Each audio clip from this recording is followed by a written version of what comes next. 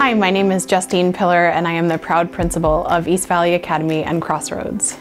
We have students in grades 7 through 12. We provide a smaller environment where kids feel safe and comfortable and can experience academic success. We offer both direct instruction and also computer-based curriculum in a lab with certified teachers who are able to coach kids one-on-one -on -one through questions.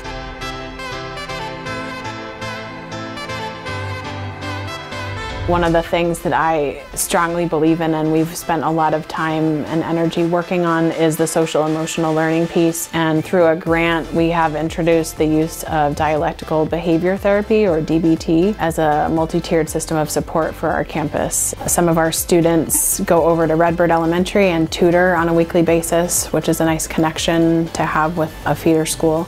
We have a wide variety of students, but I would say what makes our kids special is they really have a very welcoming and receptive demeanor. They feel like they can be exactly who they need to be and that they're accepted for that. It's a small community and you feel that with our kids.